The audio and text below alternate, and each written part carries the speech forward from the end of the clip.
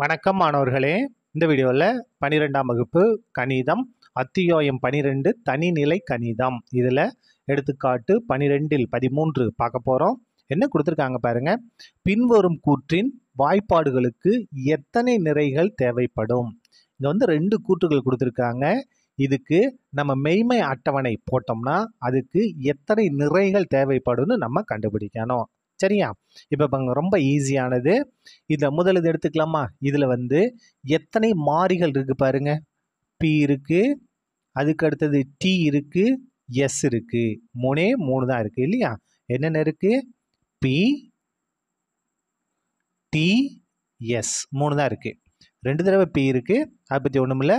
B S T அப்போ மாறிகளின் எண்ணிக்கை என் ஈக்குவல் டு மூணு. நமக்கு தேவைப்படும் நிறைகளின் எண்ணிக்கைக்கு ஃபார்முலா என்னென்னா இரண்டின் அடுக்கு எண் எதுக்கு இரண்டின் அடுக்கு என்னென்னா கூற்று. கூற்றுனா என்ன? சரின்னு சொல்லலாம் அல்லது தவறுன்னு சொல்லலாம். ரெண்டு முடிவு தானே? அதனால் ரெண்டு அடுக்கு. மாறி எத்தனை இருக்கோ அங்கே வரணும். இப்போ பாருங்கள் ரெண்டின் அடுக்கு என்னோட மதிப்பு மூணு. அதாவது மாறிகளின் எண்ணிக்கை.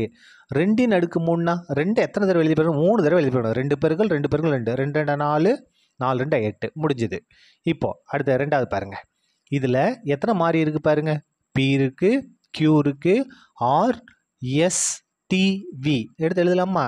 பி இருக்குது கியூ ஆர் எஸ் டிவி மொத்தம் மாறிகளின் எண்ணிக்கை என்ன? எத்தனை இருக்குது ஒன்று ரெண்டு மூணு நாலு ஐந்து ஆறு இருக்குது அப்போ தேவைப்படும் நிறைகளின் எண்ணிக்கை ஃபார்மில் என்ன? இரண்டின் அடுக்கு எண்ணு ஈக்குவல் டு இரண்டின் அடுக்கு என்னோட மதிப்பு என்ன? ஆறு. ரெண்டை நம்ம எத்தனை தடவை எழுதி பாருங்க? ஆறு தடவை. ஒன்று ரெண்டு மூணு நாலு அஞ்சு ஆறு. பெருக்கலாமா? ரெண்டு ரெண்டா நாலு நாலு ரெண்டா எட்டு எட்டு ரெண்டா பதினாறு பதினெண்டா முப்பத்தி ரெண்டு முப்பத்தி ரெண்டு அறுபத்தி நாலு. அப்போது இந்த ரெண்டாவது கணக்குக்கு நம்ம மெய்மை அட்டவணை போனால் எத்தனை நிறைகள் தேவைப்படும்? அறுபத்தி நான்கு நிறைகள் தேவைப்படும். சரியா? அவ்வளோதான் இந்த கணக்கு முடிந்தது. நன்றி.